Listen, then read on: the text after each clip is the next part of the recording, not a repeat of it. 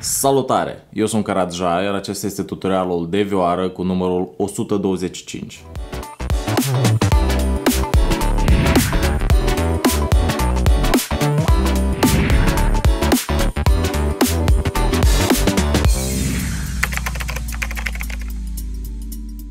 Astăzi am la explicare pentru voi o melodie foarte frumoasă din zona Ardealului și știți că în Ardeal sunt foarte multe melodii instrumentale anume care sună pe vioară, violonistice foarte, foarte frumoase pentru că au fost și sunt foarte mulți violoniști buni și care cântă foarte frumos stilul ăla specific, da?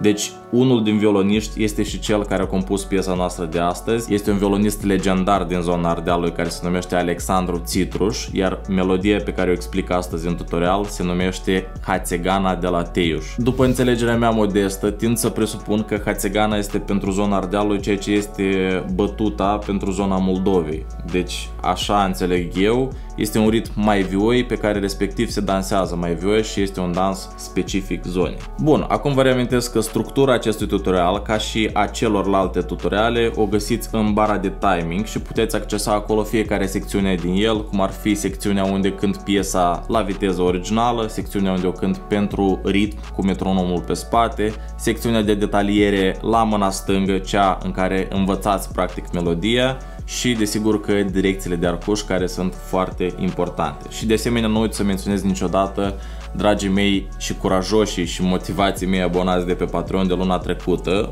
Aceasta este lista celor care au avut abonamentele active la sfârșitul lunii trecute, cei care s-au bucurat de tutorialele în formă completă acolo pe Patreon la școala de muzică, școala de vioară practic, dar și de muzică by Karadja și au avut acces de asemenea și la partituri, la partituri cu armonii, la rubricile știați că, la negative și tot ce oferă acest proiect. Deci vă aștept pe toți care doriți să studiați după mine și să studiați repertoriu frumos acolo la școala de vioară online by Karadja. Linkul spre vizitarea școlii îl aveți tot timpul în descrierea acestor rezumate. Parcă mi se pare că vorbesc ca Iohannis așa mai lent, dar e mai bine să fie tot clar. Așa, pe lângă asta, nu uitați că sunt activ pe rețele sociale, Instagram și Facebook și pe rețele de creare de video precum TikTok. Aveți aici numele, cum mă găsiți pe acele rețele și desigur că astea fiind spuse, mergem acum să vă cânt piesa în tempo în felul meu, în stilul meu, așa cum o simt eu, inspirat desigur după varianta originală și după asta vă explic foarte și foarte detaliat. Am plecat.